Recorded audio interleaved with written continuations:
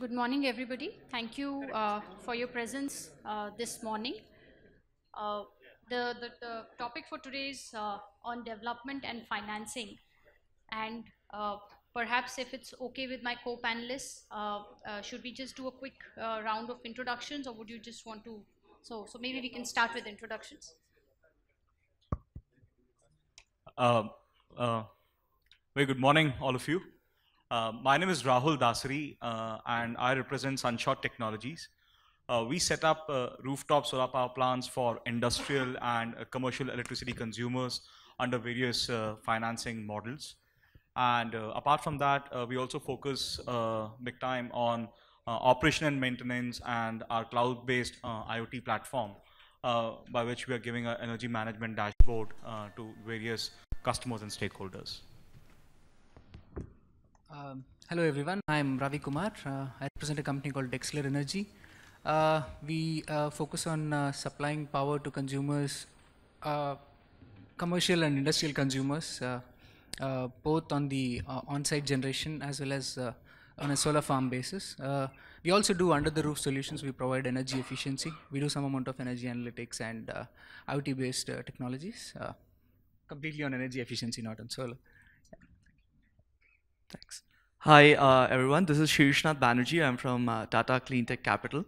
Uh, we finance uh, projects, uh, both uh, solar, wind, um, and also um, distributed generation to a large extent. And of course, so a lot of you might be aware of Tata Cleantech already, but we are a joint venture between Tata Capital and IFC Washington. And I see a lot of familiar faces, and we have already done a lot of business with many of you guys. Happy to be here. Hi everybody, I'm Setu Goel and I uh, represent Cleantech Solar, which is a Singaporean fund and uh, we are an IPP, that is we invest, own and operate uh, solar assets across Asia and we are present in both uh, rooftop segment as well as open access. Thanks. Morning, everyone. My name is uh, Vivek Subramanian. I'm the founder of a company called Fourth Partner Energy. Uh, we were set up in 2010 in Hyderabad. We have now nine offices pan India. Uh, we do only distributed solar uh, or rooftop solar. Uh, we primarily focus on industrial commercial India, um, including uh, assets under implementation. We are currently around 50 megawatts or so assets under implementation, plus what we've installed till date. Thank you. Thanks. Thanks. Uh, Ritu Lal, and the company is uh, Amplus Solar. We are also a distributed solar uh, IPP, uh, whereby we uh, own the assets and work on the solar power as a service model. And uh, we are uh, present across 20 states in India. Our assets are across 20 states in India. And we're currently sitting at about an executed portfolio of 60 megawatts and about 65 megawatts of portfolio, which is under construction. Thank you, thank you, Ritu. Uh, I'm Srishti. I'm a part of uh, Ernst & Young's uh, energy, M&A, and fundraising practice. Uh, we've been uh, recently advising a lot of clients to raise capital uh, for renewable energy. Uh, for example, uh, you know, you as entrepreneurs, as developers, are facing uh, in project development. So, you know, we have a good mix of developers and financiers in this panel, and maybe we can start with some of those issues. Rahul, would you like to first explain what are the typical issues that you see on the ground and how, how is the market changing? Um, so Srishti, say uh, from a developer perspective, uh, what we're seeing is that even now with so much proliferation of rooftop solar, uh, the time that is being taken to kind of uh, close a lead is still is still quite long. Uh, uh, for, for multiple for multiple reasons. Apart from that, the other challenges that we see is also on the regulatory front though uh, most of the states have come up with their uh, renewable energy policy with respect to taxation, cross subsidies, etc., uh, they've also uh, you know announced net metering, and net metering is quite crit- critical for distributed solar. But uh, on the ground implementation, you know, across the state is tough. I mean, some states are less bad, and some states are you know real bad. So that really impacts uh, you know the kind of capacity that we are able to install. Apart from that, you also have issues of structural challenges because unlike a solar farm, where at the end of the day, you're putting a solar plant on land and evacuating in the grid. Uh, in the case of rooftop, each roof is different from a structural strength civil perspective. So you have to go roof by roof, uh, ensure that they can take the load for a very long uh, period, and you know then go about uh, you know installing solar. Uh, so that's one. And constantly we get compared with the tariffs which are going around on the large solar farms size, like what happened at Rewa and Bhadla. And it takes uh, quite some effort to explain to customers that it's very uh, it's apple and oranges. You have those rates coming on the wholesale side where each uh, ultra megawatt solar uh, uh, farm is of 250 megawatt, and here we're talking about 250 kilowatt, uh, 500 kilowatt. On the on the capex side, where you know typically a customer himself puts a solar plant on his roofs and consumes it, there though many projects have happened, but I feel that the debt market has not you know, kind of picked up the way it should have. Say, for example, on the housing finance side or say on uh, commercial finance side. Uh, yes, there are a lot of initiatives in the market driven by IFC, Tata Clean Tech Capital is one of them. But what we're seeing in the market is that still lenders are a bit wary about the technology, whether it will last for 25 years, what happens if the customer defaults, what do I do with the asset, there's no second-hand market, and there is an issue with respect to ticket size. So whether you're doing a due diligence of a 10, 15 million deal, or whether you're doing a due diligence of a one crore deal, the effort that is required is, you know, uh, quite similar. So these all things have kind of, you know, not allowed rooftop to scale the way it has been, say, envisioned in the so-called 100 gigawatt, gigawatt roadmap of India. So you've seen ground-mounted very you know, uh, you know, taking off in a big way. The ratio should have been 2 is to 3, but we are at around 1 is to 10. So these are few of the challenges that, uh, you know, we encounter on a daily basis. Right, and uh, you know, you mentioned about how states are very different and how regulatory issues is one of the big issues. Uh, Ritu, what are your views? Because Amplus has a portfolio spread across states. Uh, how, do you think states are panning out, and are they trying to catch up, or are they just very comfortable? So the story is completely varied. There is uh, there are states like Karnataka which so far have the most uh, uh, RESCO friendly policies and solar friendly policies. And uh, if we were to raise our hands, I think all of us have open access projects in Karnataka and only in Karnataka. So if when we say we have open access, we have open access only in Karnataka today. We're trying to work with other governments. We're trying to work with Punjab in terms of policy, MP in terms of policy uh, but so far not happened. Even the rooftop policy in Karnataka is uh, liberal compared to many other states. There are states like Maharashtra which have a very good net metering policy on paper, but the ground level reality is it's extremely challenging to get that implemented because there's a lot of resistance from the discoms. And as um, companies that work only ethically it becomes even more challenging and time consuming. Then there are states like uh, Gujarat where the policy looks like they allow, forget net metering, they allow third party owned rooftop plants. But the reality is we signed two PPAs after, in one case, 18 months of discussion, in both cases actually. And luckily before we started implementing, when we started figuring out how to go about it, we discovered that it required approval from GEDA, who said go and get approval from DISCOM, and the DISCOM wasn't willing to do it. And finally, we had to kind of walk out of the PPA. And so there is a lot of restriction. Then the states like Haryana, where they said that we want to experiment with solar and we want to go solar, but we are very scared about the grid imbalance. Today, we are not even at 5% penetration of the grid in Haryana. Says no no if we have more rooftop larger rooftop plants. The grid might get imbalanced. So we are not even i mean this is an informal discussion. We don't even want something bigger than 50 kilowatts on a rooftop. So even within the regulatory authorities there is a lot of lack of awareness. Uh, there are issues of course. I mean when I, when we say discoms and their financial position and their sometimes perceived and sometimes real issues relating to uh, you know their financial stability.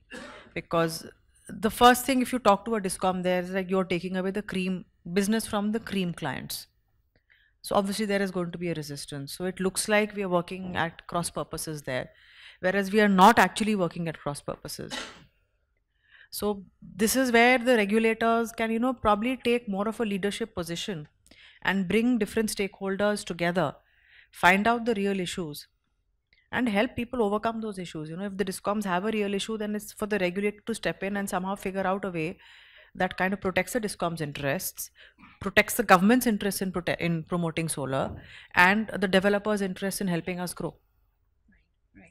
And uh, and what are the views of the panel on uh, you know the openness of uh, uh, customers to energy solutions because that also creates uh, you know a new market for for this for rooftop and solar in general. So Ravi, maybe you can give your views on this because you were mentioning about energy solutions. There is a significant interest. Um, a lot of consumers are willing to do this, uh, particularly in a, under the RESCO model. It takes away the capital cost, technology risks, and the operation and maintenance risk. Uh, for them, it is as a, as a as a solution, as an option, it is very lucrative, and they immediately jump at it to start with. But then when we open up, when we talk about having long-term contracts, uh, asking them to uh, say share some some of the risks, or uh, uh, let's say uh, when we are looking at uh, doing a diligence on them, there is there is there there you will see lot lot of resistance that is coming up. Uh, but the larger um, uh, larger uh, if you see the mood of the customers there is a significant interest and uh, right now uh, take any state any state for that matter and particularly in the C&I segment uh, across the people who are sitting here there would be there would probably be a one gigawatt of conversations that are going on. Just just those people who are sitting here only on the rooftop side. And uh, that's the kind of uh, uh, interest that's kind of uh, conversations that are going on. But uh, uh, only a small amount of it is getting converted because of the issues that i'm talking about particularly contractual in nature and understanding about the solution as such. They they all think that you know usme kya hai? You know put a panel and wo generate karega what is it that you are talking about in terms of its uh, security or its operation or it's about uh, uh, you know whatever spare inverter replacement etc etc so there is some amount of um, education that is required awareness that is required and they have to understand that they are also part of this. They're beneficiaries of this. It's not about cost. Uh, it's not just about the price that we are talking about. There is so much more to it. And uh, uh, once they come out of that little initial uh, conversation about price. how much in fact i remember ritu mentioning a couple of days ago ki kitne mein milega uh, mileage versus price kind of conversation. So uh, that should not be the case. And uh, we are doing our best in terms of educating them. And they also should realize that uh, there is so much more at stake uh, rather than just a price point. Uh, so i hope that that's going to come in at some point. Yeah, in fact, that's the common feedback that we get from investors. You know, whenever there is a transaction dialogue going on, the question is that how long will these PPAs go on? And you know, tomorrow if uh, storage comes in, uh, you know, would these PPAs continue to get uh, honored? Uh, Vivek, maybe you can you can share your thoughts on this because uh, you know you would have been seeing this issue live.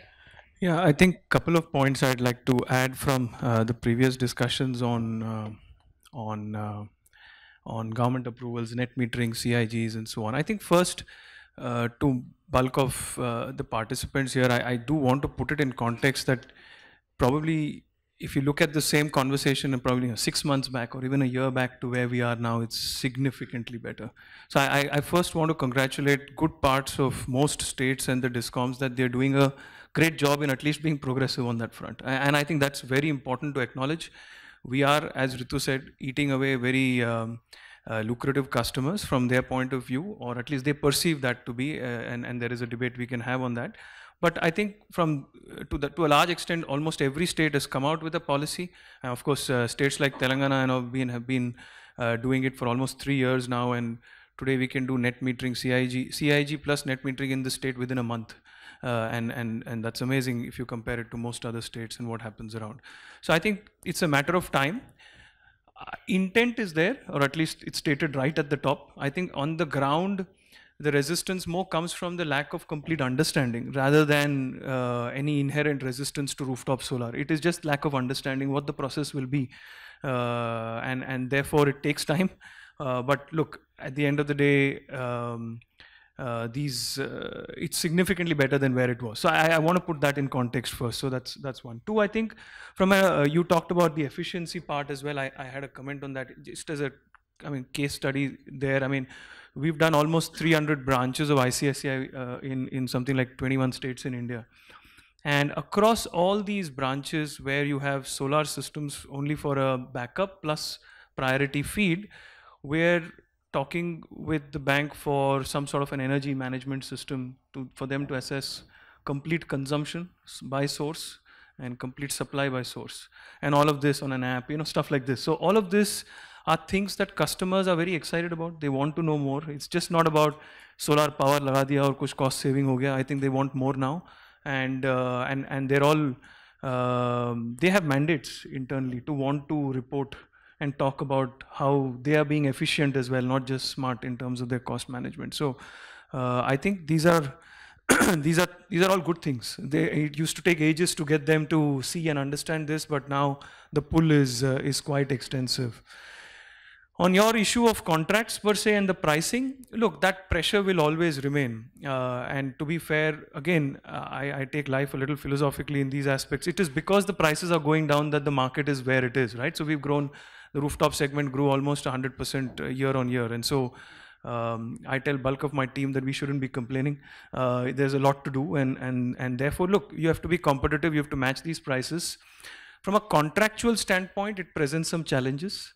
But um, uh, the way I look at it is. Um, the headroom that the customer is saving on is significant. So if you take a state like Telangana or Maharashtra where your price of industrial power is 7, 8 or even Maharashtra where it is 10, 12 rupees and you, you can give solar power at 4, 4 and a half rupees. I think at the end of the day, the customer is not out there to want to default. I think he's gonna, if he's out of pocket uh, and he's up against the wall, he will have a thought or two to do. Uh, he'll want to sit down with you and renegotiate. But if there is another developer who comes and says, listen, I'll give you power at another 50 paise lower, I'm not really sure a customer is going to bother with, given that he's already saving more than 50% in his price of power. So I think it is important that the business case is clear to the customer. If he makes money, you will therefore go ahead and make money. Uh, maybe there needs to be, and maybe the conversation should head in that direction. I always think rather than the, rather than us working on the regulation, we need a tighter legal framework uh, that monitors our contracts and you know a quicker resolution if in case we come up against it. So if there is something like that, I think it would give the entire community, the financiers, uh, the owners of these projects, the customers, a lot of comfort. So um, I think the legal framework should improve on these contracts rather than uh, rather than the. Uh, of course, the regulation can keep improving, but bulk of rooftop, or at least most of us on this panel are, bulk of rooftop is a one-to-one contract between the customer and us.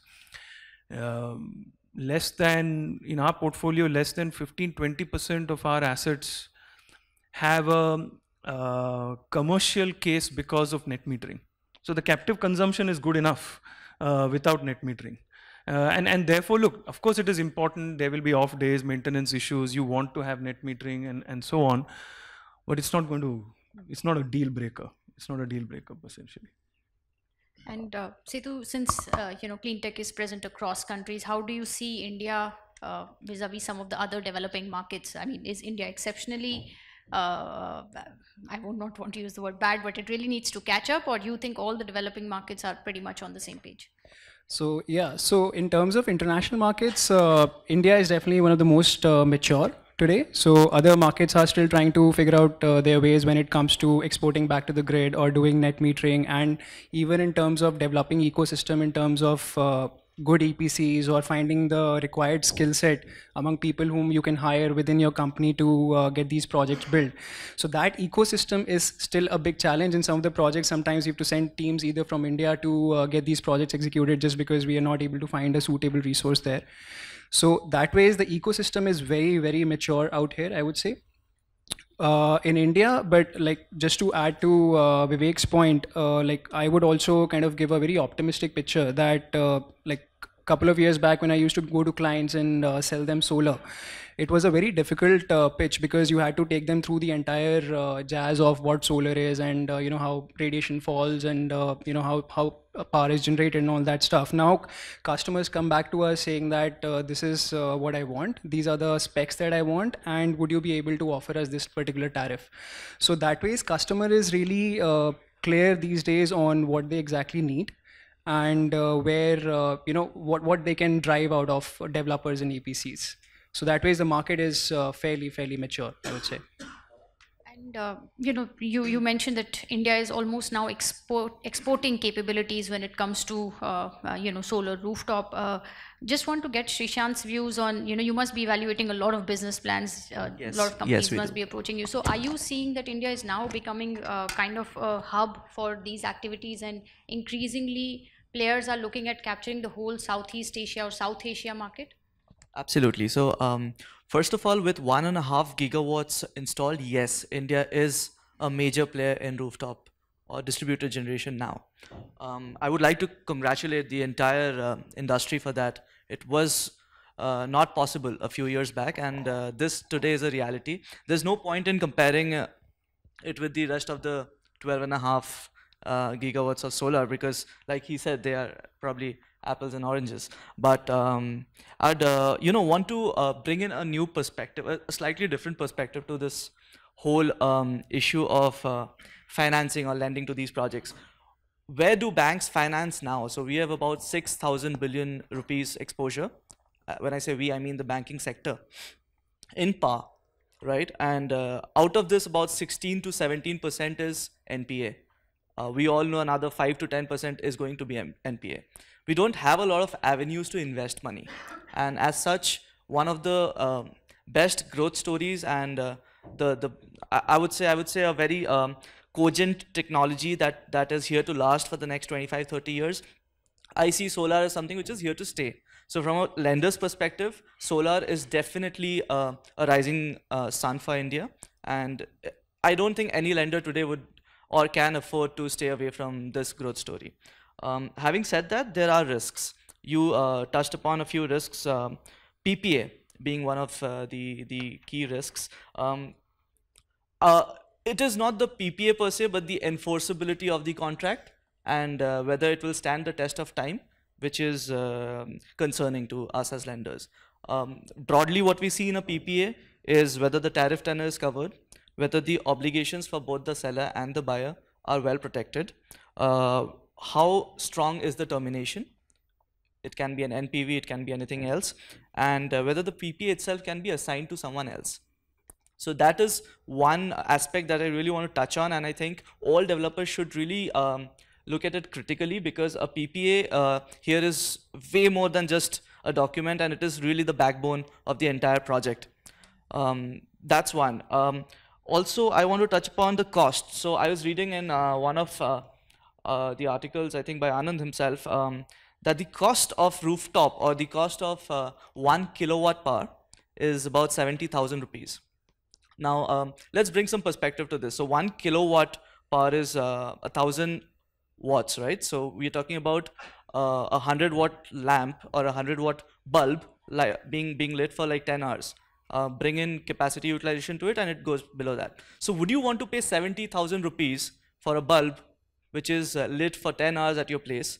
And uh, let's say let, let's assume it will go on for perpetuity. So, I want I want to leave the audience with a thought uh, that whereas 70,000 is a number that can um, definitely go down in the near future. Uh, does 2.44 really make sense? Is that a number which can sustain the test of time again? So um, I, I- I don't want to compare uh, the conventional or the on-grid and the rooftop, but um, the, the mind brings you to these comparisons, and um I think I think there are some corrections that we will see in the sector going forward. Yeah, in fact, I tend to agree with what you say on the tariffs because, see, India has seen a similar trajectory on thermal where the projects are very aggressively bid for and then uh, you know, we stand where we stand today on the thermal, uh, where there are huge write-offs being taken. A similar story panned out in highways, where uh, you know after NH- NHAI came out with the Golden Quadrilateral program, there were very aggressive bids made, and today there is a lot of distress in highway space, and we would not want solar to solar to have the same fate. Uh, now the interesting thing is that uh, you know when the bids were made at five rupees, uh, the market felt that oh that's a very aggressive bid, and today those projects are in the money. The bids were made at uh, 424 rupees, they were in the money. The bids were made at 315 today, they are in the money. So I think solar sector has had a very good uh, fortune uh, because con- consistently the capital costs have been coming down, financing costs have been coming down, the rupee kept becoming stronger. So, so I think uh, it's it's a whole lot of good events that have uh, you know come together to ensure that all the aggressive bids in the past uh, have not become unviable. But someday the cycle is going to stop. Uh, and and you know nobody wants their project to be that project when the cycle stops. So so I agree with you that that 2.44 needs to be uh, uh, you know reviewed and uh, thought over. Yes, please. So I just had a point to make on that one. So completely agree that uh, project costs have been coming down over the years, and uh, definitely uh, rupees getting stronger, and uh, that has a major impact on uh, driving down the tariffs.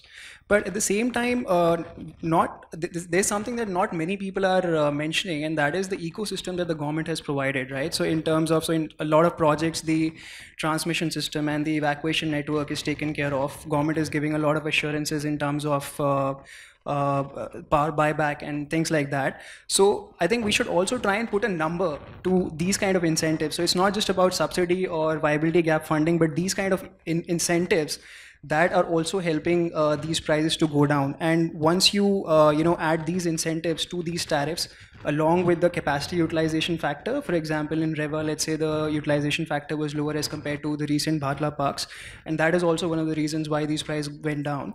So I think th- then we would be able to see a much better picture of wh- where we really are.